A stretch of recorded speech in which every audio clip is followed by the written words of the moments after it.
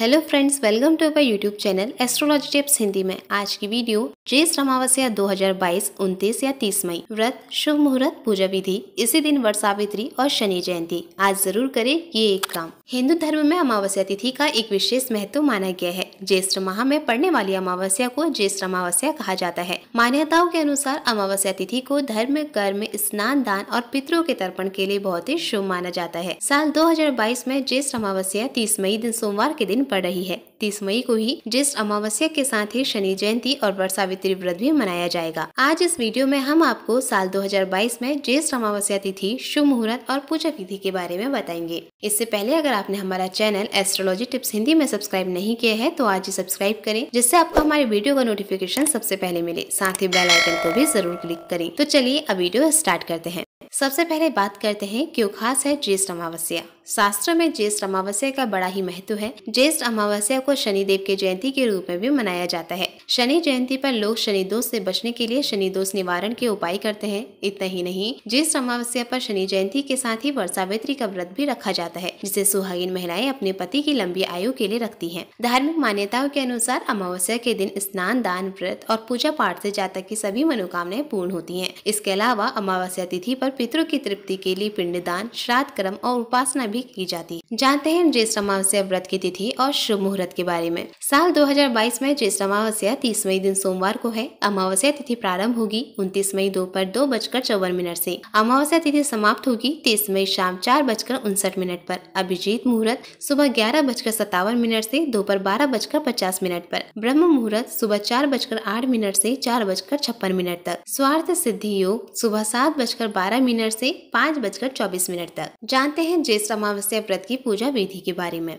वे जाता जो अमावस्या का व्रत रखते हैं या रखना चाहते हैं, वे इस दिन ब्रह्म मुहूर्त में उठकर स्नान आदि कर लें और पहले पूरे घर की अच्छे से साफ़ सफ़ाई करें। मान्यता है कि इस दिन पवित्र नदी, जलाशय या फिर कुंड आदि में स्नान करना बहुत ही शुभ होता है। आप चाहें तो घर पर ही स्नान के पानी में गंगा जल मिलाकर स्नान करें। इससे भी पवित्र नदी में स्नान के बराबर का ही फल प्राप्त होता है। स्नान आदि के बाद भगवान जी का ध्यान करें। सूर्योदय के समय भगवान सूर्य देव को जल का अग्र दें। जिस अमावस्या पर सौभाग्य के लिए भगवान शिव और माँ पार्वती की पूजा करें। इसके बाद अपने पितरों का स्मरण कर व्रत रखें। इस दिन दान दक्षिणा का भी काफ़ी महत्व होता है। इसलिए इस दिन किसी गरीब या जरूरतमंद व्यक्ति को अपनी इच्छा और सामर्थ्य अनुसार दान दक्षिणा दें। साथ ही गाय को रोटी भी अवश्य खिलाएँ। इस दिन पीपल के पेड़ की पूजा करें और पेड़ की जड़ में जल चढ़ाएँ इसके बाद पेड़ की परिक्रमा करें। अमावस्या का दिन बेहद ही शुभ माना जाता है, इसलिए इस दिन सात्विक रहें। फ्रेंड्स, अगर आपको ये वीडियो पसंद आई हो तो ये वीडियो अपने दोस्तों से शेयर करें और अपने विचार हमसे कॉमेंट बॉक्स में ज़रूर शेयर करें। आगे के ऐसे ही लेटेस्ट वीडियो के लिए आज ही एस्ट्रोलॉजी टिप्स हिंदी मेरे चैनल को सब्सक्राइब करना ना भूलें। Thank you.